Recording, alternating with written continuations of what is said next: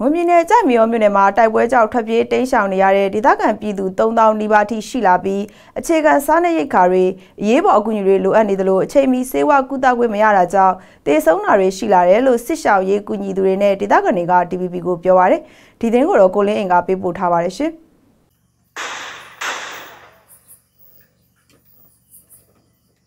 ပြီးခဲ့တဲ့နိုဝင်ဘာလ10ရက်ကစတင်ပြီးမွန်ပြည်နယ်ကြိုင်မရောမြို့နယ်က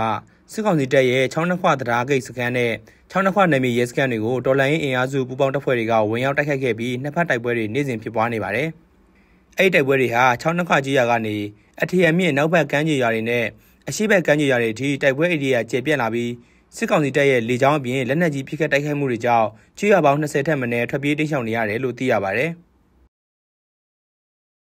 ဒီရက်20ကျော်တဲ့လူတွေကြတော့ပို့ပြီးတော့ဒုက္ခရောက်တာပေါ့အိမ်ကနေအာအချို့လူဆိုဝတ်တစ်ဆယ်ကိုတစ်ခုနဲ့ထွက်လာတာရှိတယ် အချို့ဆိုရင်ဟိုဒီနှစ်ဆောင်လောက်ပါလာတယ်အာလူနာတွေယောဂခံရှိတဲ့လူတွေပေါ့နော်နေ့ကမှတယောက်ဆုံးသွားသေးတယ်မဒီယိုယောဂလူတယောက်လေဒီကယောဂအခန်းနဲ့သူတို့တော်လေးကိုဒုက္ခရောက်ရှာပါတယ်ဟိုဆောင်းလေးဝင်လာလူလူတွေကဒီနာစီချောင်းဆိုးတို့အေဒီစေးဝါးတွေလူတယ်တော်ပြီးအဝတ်စားတွေလူတယ်ဖောင်းတွေပေါ့တိုက်ပွဲတွေကြောင့်ထွက်ပြေးတိမ်းရှောင်နေရတဲ့စစ်ဆောင်ပြည်သူတွေဟာစစ်ဆောင်ရတာတလနီးပါးရှိလာတဲ့အတွက် အခြေခံစားနပ်ရိက္ခာဆေးဝါးဆောင်အဝတ်ထည်နဲ့နေရာထိုင်ခင်းကအစအရေးပေါ်ကူညီတွေလိုအပ်နေတယ်လို့ဆိုပါတယ်စစ်ဆောင်ပြည်သူအများစုဟာနီးစပ်ရာဘုံကြီးကျောင်းတွေဥယျာဉ်ခြံတွေနဲ့ပြားတောင်ဒေသကထုံးကျောက်ကူတွေအတွင်းပုံခိုနေထိုင်ကြပြီးတချို့စစ်ဆောင်ပြည်သူတွေကတော့မော်လမြိုင်နဲ့မူရုံပါဝင်ကြိုင်မရောမြို့ပေါ်တွေမှာပြောင်းရွှေ့နေထိုင်တာတွေရှိလာပါတယ်တစ်ဖက်မှာတော့ပြားတောင်ဒေသကထုံးကျောက်ကူတွေအတွင်းပုံခိုနေထိုင်ကြတဲ့စစ်ဆောင်ပြည်သူတွေကိုစစ်ကောင်စီတပ်အပြင်တော်လိုင်းအင်အားစုပူးပေါင်းတပ်ဖွဲ့တွေကထပ်ခါခိုင်းနေတဲ့အတွက်ပြေးစရာမြေမရှိတဲ့အခြေအနေနဲ့ကြုံနေရတာပါ တက်ခင်ကတော့ အများကြီးဘောကိုအခုဆိုတစ်ရှောင်းလေးဆိုတော့အာစာတရိခါတွေတေးမားတွေပါရတော့လက်ရှိချိန်ကတော့ ကျွန်တော်တို့တွေ့ရတယ်ဟို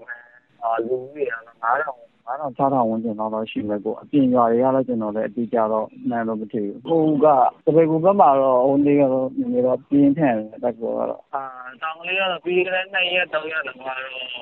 ဖြစ်တယ်ပေါ့။နောက်တစ်ခါမှာတော့ပုံမှန်တိုင်းပဲကိုစခန်းထဲမှာရှိမယ်သူတို့အပြင်မှာဝိုင်းတာဒီလောက်ပဲဆိုတိုက်ပွဲတော့အချိန်မကြီးတော့ထဖြစ်သွားနိုင်တယ်ပေါ့ DVB ကပြုစုထားတဲ့ချက်လက်တွေရလက်ရှိတိုက်ပွဲတွေကြောင့်ထွက်ပြေးတိတ်ဆောင်နေရတဲ့ကြေးရွာတွေထဲမှာမွန်လူမျိုးတွေနေထိုင်တဲ့ကြေးရွာ73ရွာထက်မနည်းပါဝင်ပြီးအများစုဟာဘုံကြီးကျောင်းတွေမှာတိမ်းချောင်နေရတာပါ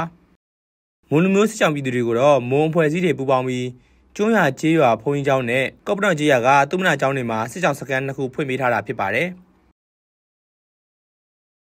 ဟိုအရဘက်ကွက်စီးတွေရောနောက်ပြီးတော့နေပါတီစလူတွေရောအနာသူတို့ဒီစစ်တီစစ်ဆောင်တွေကိုတော့နေရာ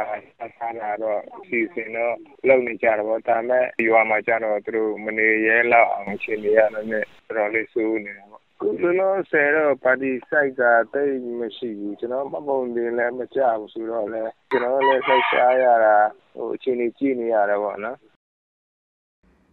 ကြိုင်မရောတိုက်ပွဲအတွင်းမှာစစ်ကောင်စီတပ်ရဲ့လက်နက်ကြီးနဲ့လေကြောင်းတိုက်ခိုက်မှုတွေကြောင့်မိကတိကျေးရွာကဖုန်ကြီးတစ်ပါးပြန်လုံတော်မူခဲ့သလိုပေါ်လောကုန်းကျေးရွာကကလေးငယ်2ယောက်အပါအဝင်အရက်သား9ယောက်ထက်မနည်းတေဆုံးထားပြီးဒဏ်ရာရသူ20နီးပါးရှိနေပါတယ်။ အချိန်တလနီးပါးကြာဖြစ်ပွားနေတဲ့ကြိုင်မရောတိုက်ပွဲအတွင်းတရင်မှုဒုဗိုလ်မှူးကြီးမျိုးကိုကိုဝင်းအပါအဝင်စစ်ကောင်စီတပ်ဖွဲ့ဝင်40နီးပါးတေဆုံးထားသလို